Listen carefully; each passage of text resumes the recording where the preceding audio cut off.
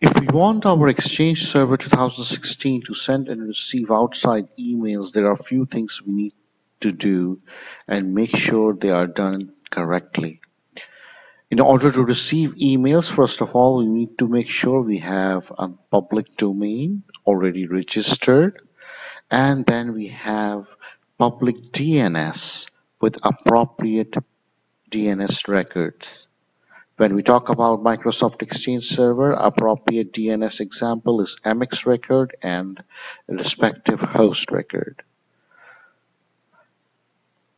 When we talk about Microsoft Exchange Server, Microsoft Exchange Server will receive emails from internet as long as there is an appropriate MX record with an host record uh, which is pointing to your Exchange Server. And once we have all that set, we will go to the accepted domains and we will add the domain for which we want to receive emails in our Exchange organization. In my case, as you can see, I have itcents.com already there. The reason for it, because my Active Directory domain name is the same as my external domain name. If this is the case, then I don't need to do anything or you don't need to do anything because when you install Exchange Server, by default, Exchange create an accepted domain based on the name of your Active Directory domain name. So if your Active Directory domain name matches your external domain name, you are all set to go. You don't have to create any other additional accepted domain. But if it's not, then you will create a new uh, authoritative domain and authoritative domain means this exchange server will be responsible for receive emails for that and it will deliver to the valid recipients in that organization. Valid recipient means the recipient with the valid email address based on that accepted domain. Once you will define the accepted domain, then you will go to the email address policies. As you can see, by default, there is one email address policy, which is based on my Active Directory domain name. And again, in my case, uh, my Active Directory domain name is the same as my external domain, which is itcents.com. So here I also don't need to do anything. Otherwise, if your domain name is different than your Active Directory domain name, I'm talking about the external domain or public domain, then in this case, you need to create first an accepted domain as we have seen in the previous step. And then we have to create an appropriate email address policy like that.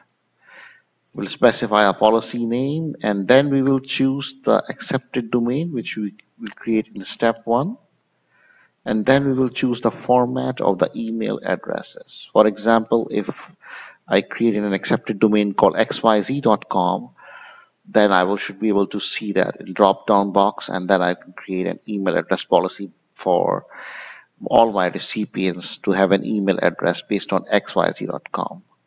Once we have accepted domain and email address policies, then we just need to make sure that we have a receive connector which is there by default. It's the front end connector. Uh, so we have to just make sure that the default front end connector is enabled for anonymous users which it is by default. Just we need to verify just to make sure. It's like a double check if I go to security tab option, I will see anonymous users is selected and this is what we needed for an exchange server to receive emails from outside world. So we are all set. We have accepted domain, we have email address policy as well as our front end connector is selected for anonymous user. So our Exchange server is all set to receive emails for itcents.com. But when you want to talk about sending emails, then in this case we need to configure something. Because by default, Exchange is not configured to send emails to the internet. And to accomplish that, we need something called send connector. If we go under the send connectors,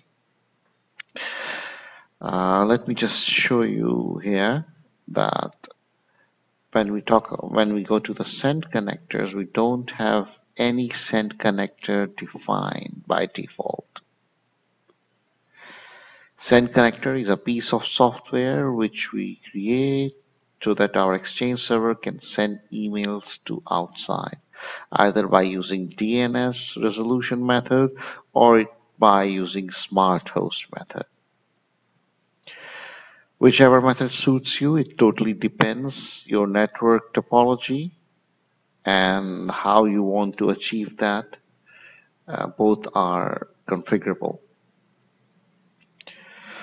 As you can see, there is no send connector by default. I would like to create a new send connector here. And I will call it, let's say outbound email and the purpose of creating this email uh, this connector is to send emails to the internet. So I will choose internet.